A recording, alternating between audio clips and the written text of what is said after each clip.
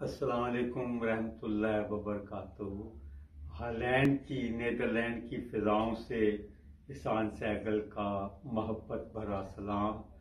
आज बाहर बाहर का मौसम जो है, वो काफ़ी जो है साफ़ सुथरा है, रोशन है, सूरज चमक रहा है, और घर का मौसम भी जो है, वो अच्छा है। हर चंद के दुनिया भी कोरोना ज़्यादा है।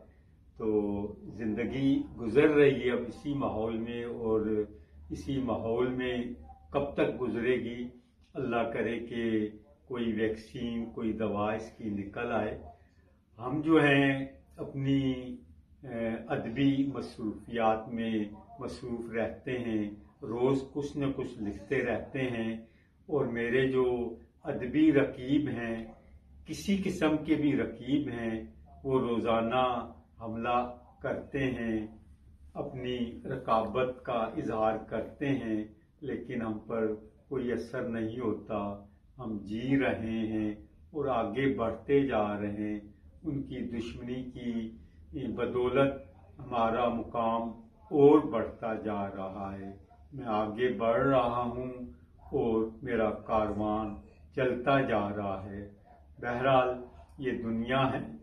यहाँ आपके दोस्त भी हैं, यहाँ आपके दुश्मन भी हैं, यहाँ आपके रकीब भी हैं, यहाँ आपके मोहब्बत करने वाले भी हैं, यहाँ आपके वो मोहब्बत करने वाले भी हैं जो आपके सामने नहीं होते, लेकिन आपके लिए वो बहुत कुछ कर रहे होते हैं, आपके तहफ़ के लिए, आपके प्रमोशन के लिए और आपकी नामवरी के लिए प्रमोट कर रहे होते हैं। और इसी जगह वो भी होते हैं जो आपको डिग्रेड कर रहे होते हैं।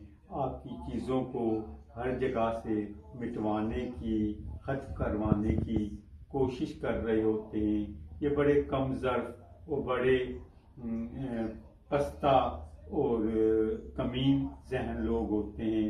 इनसे हमारा दूर का भी वास्ता नहीं होता है। बहरहाल, अल्लाह ताला सबको अपनी अमान में रखें और आप अपनी दुआओं में रखें, हमें याद रखें और आप हम मेरी, हमारी दुआओं में हर वक्त शामिल रहते हैं। अल्लाह हाफिज़। पाकिस्तान जिंदाबाद।